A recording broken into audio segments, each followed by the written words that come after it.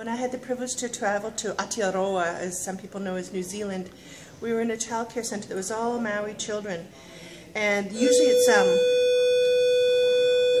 only the Maori language.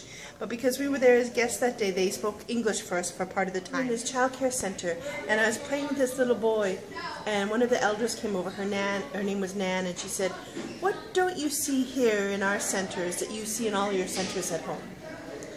And so I thought about it, and we were playing with clay, and she said, one is you don't see Play-Doh, because Play-Doh is made with flour.